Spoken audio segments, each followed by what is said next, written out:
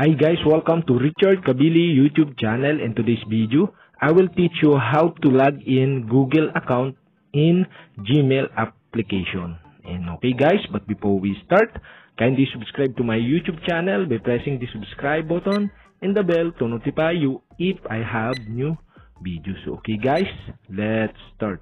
So okay guys, you'll have to do is go to Gmail application in your mobile phone. And okay guys, here in Gmail, okay, you'll have to do is skip. And okay guys, here, okay, you can see the add email address. Okay, you'll have to do is click this. And okay guys, you'll have to do is select Google. So okay, in this tutorial, I will show you how to log in using your Google account. And okay guys, checking info. And okay guys, now you can log in your Google account. Okay, you can log in by email or phone. Okay, and okay guys, after you enter the Gmail or email, okay, you'll have to do is click next button. And now you enter your password. And okay guys, after you enter the password, okay, you'll have to do is click next button. And okay guys, here in two-step verification, okay, you'll have to do is click send button. And now you receive a code to your mobile number.